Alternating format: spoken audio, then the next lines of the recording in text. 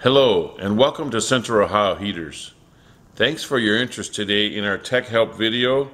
The title of our video is Burner runs but will not produce a flame. A few safety precautions first. If you use this video, you are agreeing to use it at your own risk. Be sure to let the unit cool down and clean all the ash out of the unit, especially if it's soaked with oil or antifreeze because it may burn uncontrollably. Do not stick your head near the peep door until after the flame is established because if the heater is hot and the chamber gets filled with oil fumes and then the oil fumes light, it will explode in your face, kerpoof! May burn your arm, your face. Be sure to wear safety glasses. Burner runs but will not produce a flame. Danger, do not light the heater like we're going to do here when the heater is warm or for sure not when the heater is hot. Because if the hot heater is full of unburnt fuel, it will violently explode and burn you. We have disconnected the transformer here. There's no current going to the transformer, so it's not going to light, simulating a bed transformer condition. We're going to turn it on here and then we're going to light it with a Bernzomatic torch.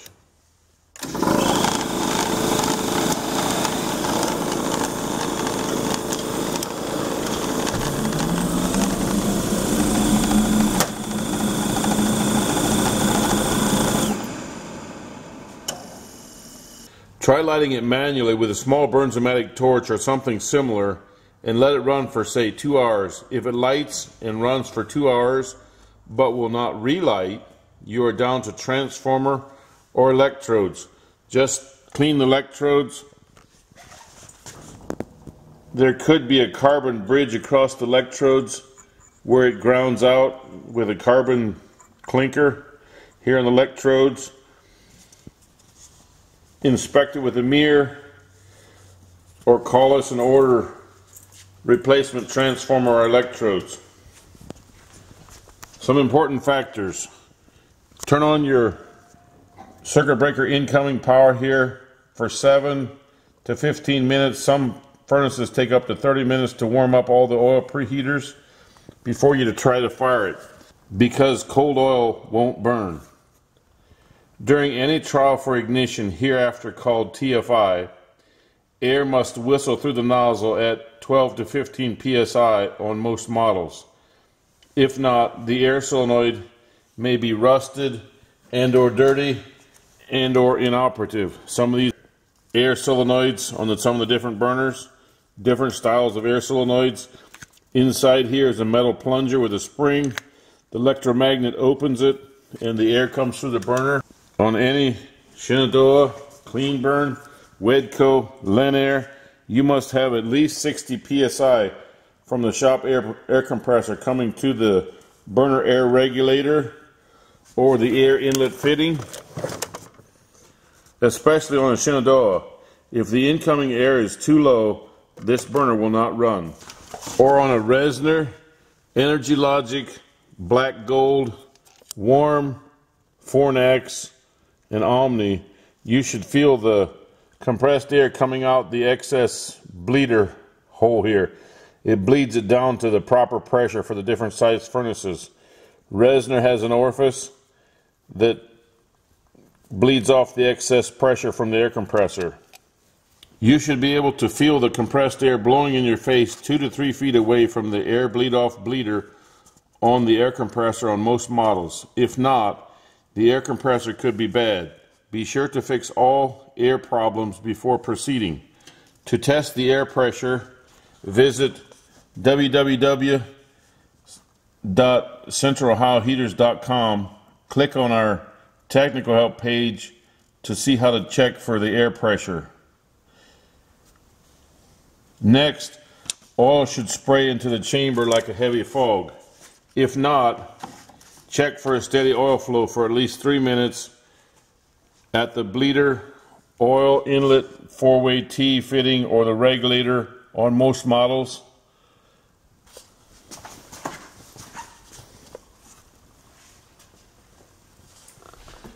With a old style pressure system and the oil pressure regulator, check to see that the oil pressure is correct during TFI.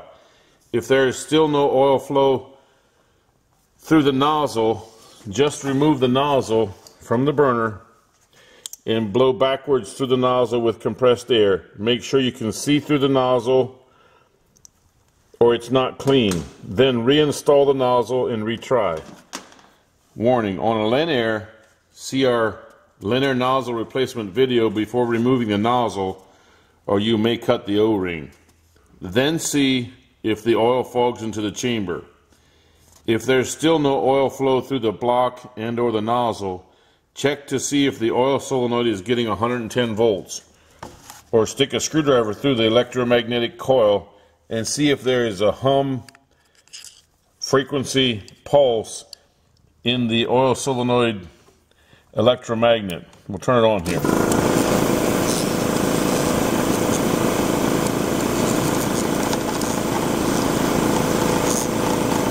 This will hold the screwdriver until I shut it off. When the current drops out, the magnetism quits.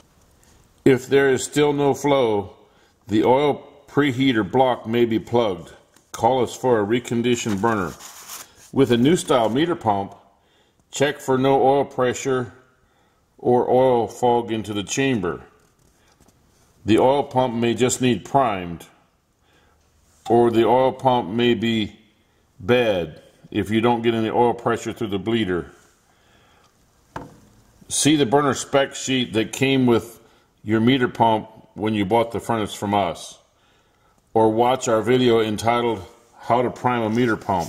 If the oil pressure to the burner is above 40 psi during TFI, remove the nozzle and blow it backwards with compressed air. Make sure it's clean. Blow the carbon, whatever's in the nozzle, out. Or on a Lanair, see our Lanair nozzle replacement video before removing a nozzle.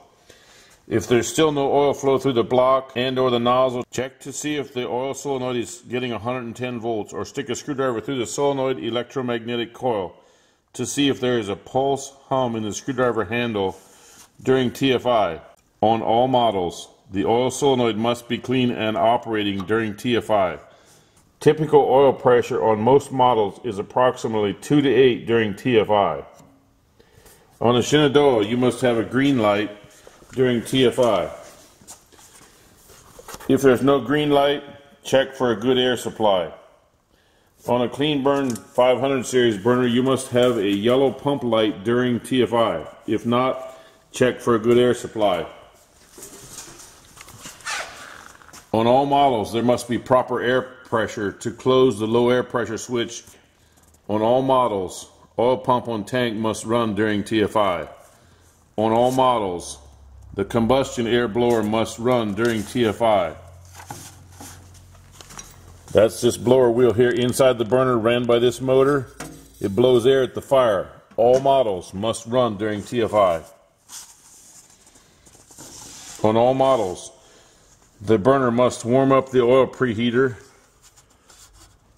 The preheater assembly that warms up the oil has to get hot or the oil won't light and burn.